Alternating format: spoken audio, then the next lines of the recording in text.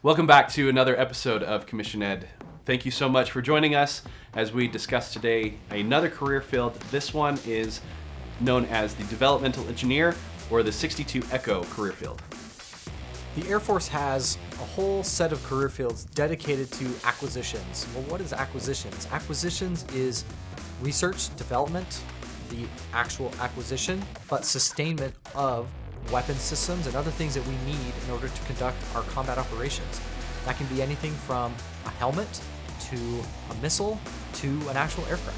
Right, it's important to think about what actually goes into getting the stuff that the Air Force needs. You know, the F 35 didn't just appear out of nowhere.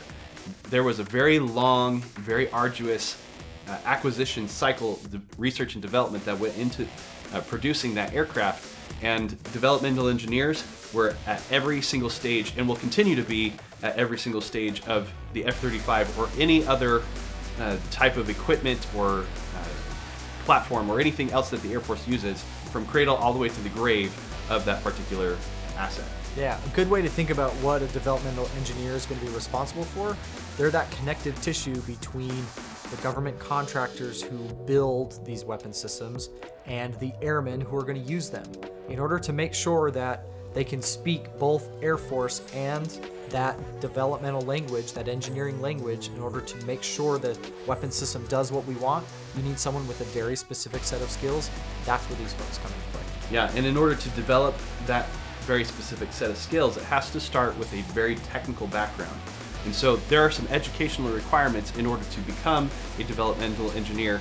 We've got some links in the description that will show you exactly what those requirements are. But generally speaking, if you want to be a developmental engineer, you're going to have to have some sort of Bachelor of Science degree in engineering. And you're also going to have to do three weeks of training at Wright Patterson uh, Air Force Base in Ohio, the fundamentals of acquisitions management. That is your entry into what is actually a career long training pipeline through the Defense Acquisitions University or DAU.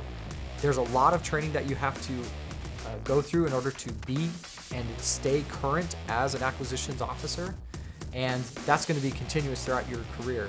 Not only that, but there are a lot of higher education opportunities as well. Yeah, one example of that is the Air Force Institute of Technology. This is located at Dayton Air, uh, in Dayton, Ohio, at Wright Patterson Air Force Base.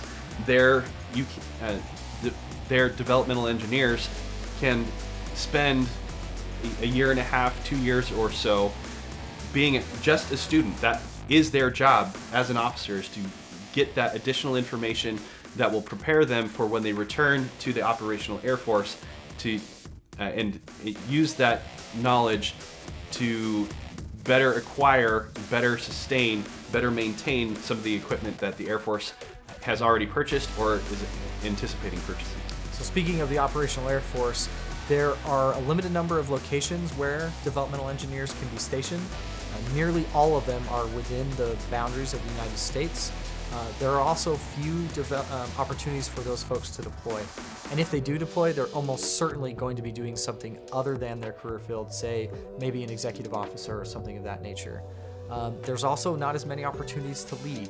There aren't exactly a large force of enlisted engineers that we have in the Air Force. That doesn't mean they're not going to lead.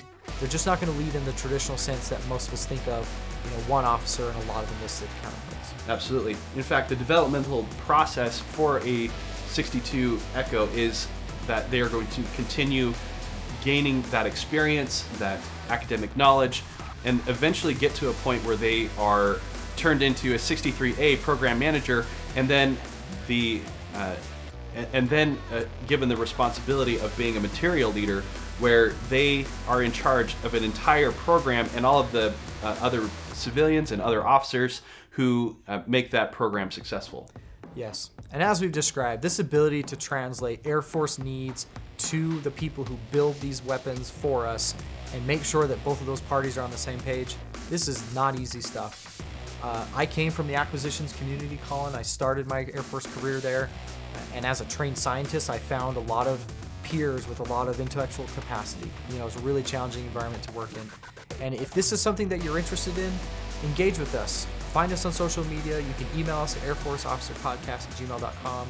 We're more than happy to put you in touch with folks that are doing this day in and day out. It's a very rewarding career field and can develop skills that you can use not only as an Air Force officer, but on the outside if that's something that you're interested in. Absolutely. The skills that you develop here can be applied not only in the Air Force but outside, and most importantly, you are still an officer. You still carry that same level of trust and and uh, and authority that any other officer has in the Air Force.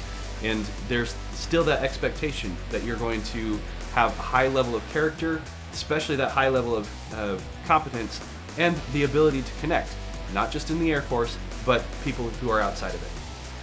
As always, link below to some items in the description that can be very helpful for you. Like and subscribe this video. We'd love for you to share it with those that are interested in this career field. And anything else this week, Colin, before we wrap up? That'll do it for this one. Thanks for joining us for today's episode of Commission Ed.